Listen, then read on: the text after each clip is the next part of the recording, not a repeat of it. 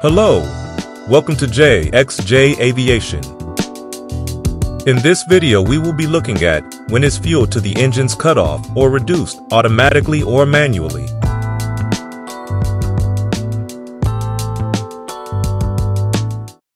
Fuel and engines. On gas turbine engines, fuel is needed to keep the engines running. When the engines are started on ground, fuel is slowly introduced during the start sequence and burnt with the help of igniters in the combustion chamber. Once the engine's high-pressure shaft reaches a specific rotation speed, the igniters cut off. The fuel is constantly fed to the engines until the end of flight when the aircraft is on ground and engines are switched off. However, in certain abnormal cases, the fuel to the engines may be cut off or reduced automatically or manually.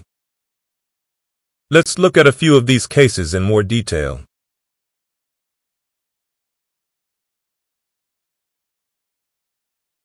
Fuel cutoff or fuel reduction. Engine fire. In case of an engine fire, the fuel supply must be cut off to that engine or it may have serious consequences.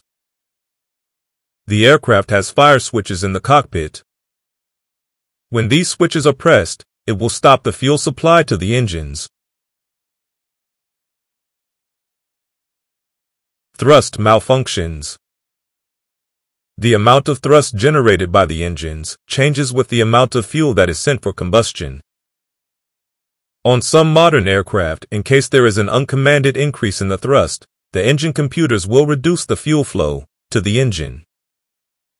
On ground, if there is an uncommanded increase in thrust, the computers can even cut off the fuel to the engines.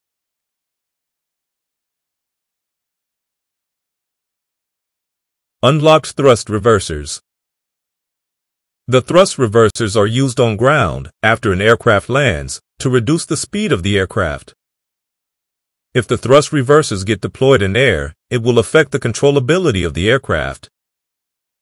The thrust must be reduced on the engine by reducing the fuel flow to the engine. This may be done automatically or manually.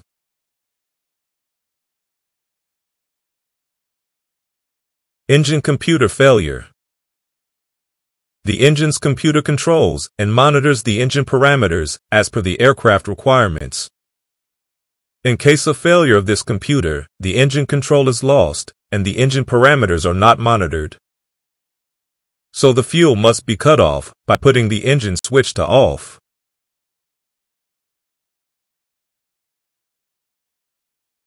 Engine vibrations and engine stall. In case of engine vibrations or an engine stall, the initial action would be to reduce the fuel flow to the engine. This is to prevent damage to the engine. After reducing the fuel to the lowest setting, if the engine parameters are beyond the required limits, the fuel has to be cut off by setting the engine switches to off.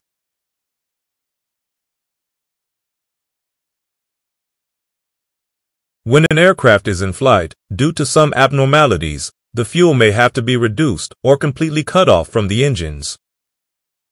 This may be done automatically or manually.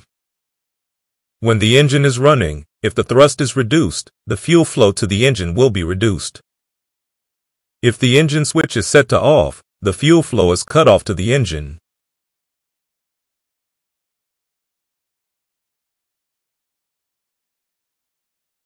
That's all for my video on reducing and cutting off the fuel flow. Thank you for watching. If you like the video, please share and subscribe. And you can continue watching some of my other videos as well.